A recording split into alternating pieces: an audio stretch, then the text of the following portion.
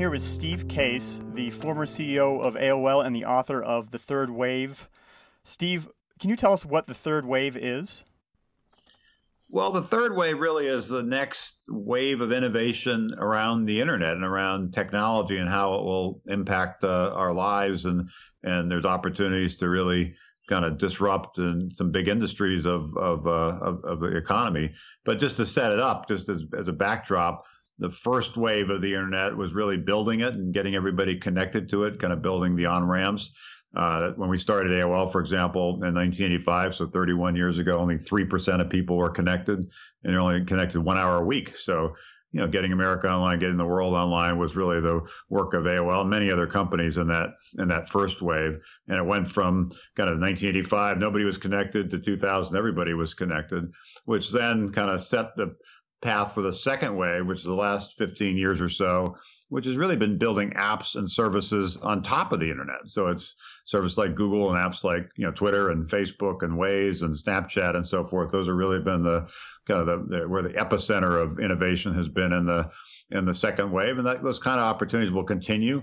Uh, but the third wave really will start integrating the internet in things like healthcare and education and transportation and energy and even even food and in, a way that will really you know create big opportunities for the innovators and, and challenge some of the the incumbents but the reason i wrote a book is i think this third wave will require a different mindset and require a different playbook than the than the second wave did mm-hmm. so back in 1996 when i was a high school kid in nebraska tying up the phone line using dial-up getting on aol getting uh, emails from the mayor of AOL, Steve Case.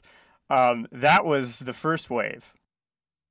Correct, correct. We were we were just trying to, you know, kind of. And again, I know it sounds a little crazy now, even people kind of listening to this because the internet's now kind of part of everyday life. But when, you know, in those early days, there's just a lot of work to kind of stand up the internet. A lot of you know, how do you build the the networks and the software and the servers and and create the content and and and drive the the adoption of it. And as that first wave was mostly about PCs, mostly about pe- people connecting through phone lines, uh, as you mentioned. Uh, and you know, it, it, there was a lot of work to really make that happen. I used to joke that AOL was sort of a 10 year in the making overnight success. By the time we really, you know, kind of were visible in the mid 90s, people thought we came out of nowhere. But in the reality, we've been working at it for a decade to kind of build the, you know, build the, the company and, and build the, the, the internet as really a, a platform.